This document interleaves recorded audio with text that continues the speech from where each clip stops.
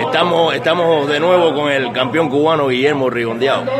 Rigondeado, ¿cómo, cómo, te, ¿cómo te recibiste la noticia de cuando ya estabas preparado, listo para la pelea, para, en busca de un título mundial, de- del problema del visado de, de tu rival Liborio Solís? ¿Qué te pareció? ¿Cómo, cómo, cómo recibiste esa noticia? Bueno, ya esa noticia duele un poquito porque uno ha hecho la preparación, pero ya eso pasa porque tiene que pasar lo que tenía que pasar.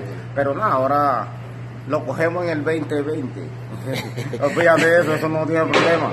Río, Ya todo tranquilo y pe- estamos esperando todo que salga bien. Perfecto, Rigondeado. Tú sabes que yo siempre he dicho que Guillermo Rigondeado, el campeón lineal de la 122, es el hombre de, de la paciencia, el hombre que siempre está esperando. Mira, has estado esperando en un momento determinado por Leo Santa Cruz, has estado esperando por Rey Vargas, has estado esperando por boxeadores, por situaciones, y ahora estás esperando ahora nuevamente por un problema de visado. ¿Qué, qué me dices? Tienes una gran paciencia en ese aspecto, ¿no? Sí, no, ya, yo cojo ya la cosa con calma ya, porque eso es todo cuando se te dé y no cuando uno quiera, pero bueno, ya fue más preparación para mí y ahora en el 2020 vamos a estar mejor todavía al 100%.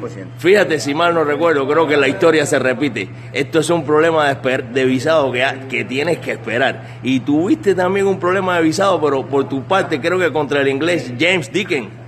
También Hubo un problema que tuviste que... Vaya, eh, o sea, siempre estás esperando y- una paciencia tremenda. El tiempo va pasando, pero te mantiene. Quieres que te mantengas joven, ¿no? Sí, por supuesto, y ya era la tercera pelea, que yo casi nunca había peleado tres veces en un año.